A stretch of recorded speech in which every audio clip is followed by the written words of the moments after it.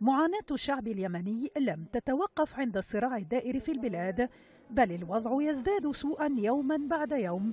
فقر وجوع ونزوح مستمر. فعشرون مليونا من بين خمسة وعشرين هم إجمالي تعداد اليمن يعانون الفقر بحسب تقرير حديث للبنك الدولي. التقرير شمل الوضع في اليمن في الفترة ما بين سبتمبر العام 2014 وسبتمبر العام 2015 أي خلال العام الأول من انقلاب الحوثيين.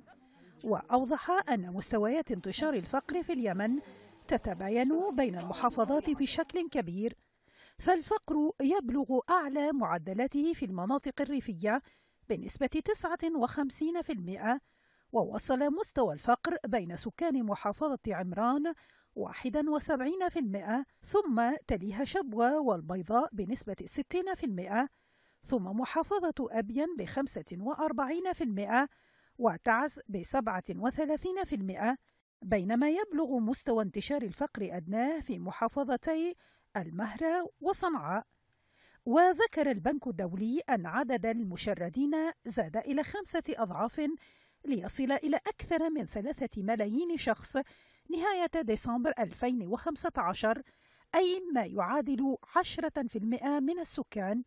وبحسب التقرير فإن هناك ما يقارب من ثلاثة ملايين ونصف المليون طفل غير ملتحقين بالمدارس أي ما يعادل 47% من مجموع الأطفال في سن الدراسة نظرا لأن أغلبية المدارس مغلقة أو هدمت بالقصف.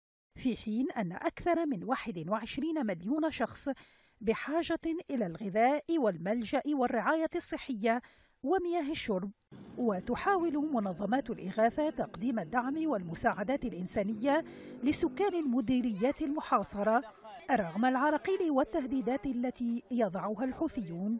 هنا محمد بخشم العربية.